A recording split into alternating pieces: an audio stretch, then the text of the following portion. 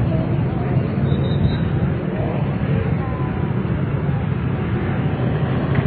เก็บกล้องค่ะ เดี๋ยวตัวนี้ก็ได้นะสามนี้ก็ได้นะ ไม่ได้ไม่ได้ไม่ได้ ต้องเลื่อนบนค่ะ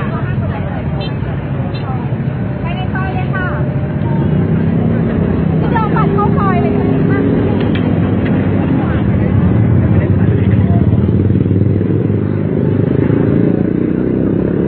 ไปนะ เออไปเลยนะ เดี๋ยวมันจะเสร็จอะ พร้อมไหมครับ เอา เลยอะได้ไหมแจ๊คไปไหมไปไหมอะโดมโดมพักถามถึงความตั้งใจในวันนี้นะคะที่ปั่นจักรยานมาที่นนท์ก็ตั้งใจมาก ๆ เลยครับ คือผมว่าทุกคนก็คงมีจุดมุ่งมุ่งหมายเดียวกันนะครับ อยากจะมาใกล้พระองค์ท่านให้มากที่สุดนะครับ แต่ว่าวิธีแต่ละคนก็อาจจะแตกต่างกันออกไป อย่างผม ผมก็ตั้งใจว่า จะมาอยู่ใกล้พระองค์ท่านที่สุด โดยใช้ยานพาหนะเป็นจักรยานที่ผมถนัด เมื่อวานผมก็มาทีหนึ่งแล้วครับ ก็มาร่วมเอ่อ พระราชพิธีครับ วันนี้ก็กะว่าจะมาอีกครับวันนี้มาจากไหนคะวันปั่นี้นจักรยานพระรามเก้าเลยครับวันนี้ครับ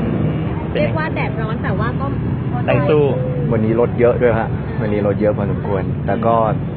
ไม่ไม่ไม่หวั่นอยู่แล้ว เราตั้งใจจะมาอยู่แล้วครับ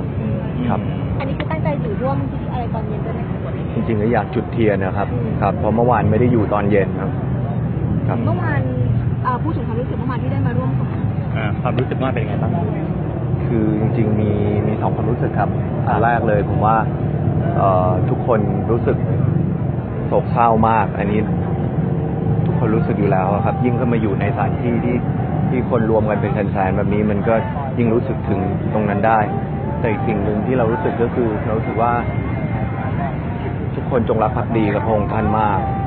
จริง ๆ แล้วก็ผมรู้เลยว่าจริงๆคนไทยสามัคคีกันส่วน ได้แต่มีโอกาสไปเชียร์เชียร์เฉยๆครับไปร้องเพลงอะไรอย่างเงี้ยความรู้สึกในตอนนั้นหลังจากที่เราได้ผมไม่ต้องพูดผมว่าถ้าทุกคนมีโอกาสก็ก็คงเป็นเกียรติกับวงตระกูลนะครับผมว่าคำสอนแล้วก็พระกรณียกิจโอ้ทุกอย่างเลยครับ ยิ่งยิ่งมาถึงตอนนี้นี่ผมว่า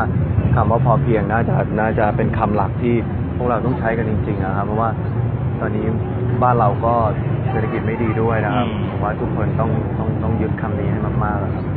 จริงๆ มีอีกโหเป็นแสนเป็นล้านข้อที่ท่านเคยตรัสเอาไว้อะครับ แต่ว่าผมว่าท้ายที่สุดแล้ว หยิบเลือกเอามาใช้ที่ตัวเองคิดว่า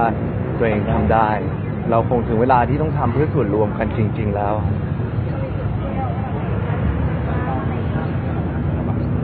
คือก็ผมว่าอันดับแรกเลยก็คิดดีทำดี อันนี้สเต็ปแรกที่เราจะทำได้ดีกับตัวเราด้วยดีกับ คนรอบข้างในระดับใกล้ระระดับกลางและระดับไกลออกไป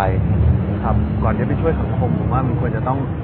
คิดดีทำดีกับตัวเองก่อนนะเนี่ยอันดับแรก มีอะไรหลายอย่างที่พี่โดมอยากจะทำและอยากจะมั่นใจทำเพื่อท่านจริงคือตลอดเวลาก็ก็พยายามคิดดีทำดีมาตลอดเท่าที่มนุษย์คนหนึ่งจะทำได้อะนะครับอืมจากนี้ไปก็จะพยายามทำตัวให้เป็นประโยชน์ต่อสังคมอืมให้มากที่สุดเท่าที่ผมจะทำได้ด้วยวิชาชีพของผมเอง ในฐานะที่ผมก็เป็นคนไทยหนึ่งคนที่ผมจงรักภักดีต่อพระองค์ท่านนะครับสุดท้ายอยากจะพูดอะไรอีกสักคำไหมคะผมรักพ่อหลวงของเรามากเลยนะครับ ไม่ต่างกันจากทุกๆคนนะครับ โอเคขอบคุณค่ะ